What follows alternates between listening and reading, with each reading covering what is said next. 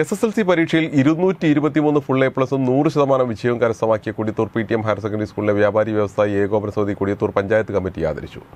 President Muhammad Sharif Ambalakkandi പ്രധാനാധ്യാപകൻ G സുധീറിന് ഉപഹാരം കൈമാറി. ചടങ്ങിൽ പഞ്ചായത്ത് വ്യാപാരി വ്യവസായി secretary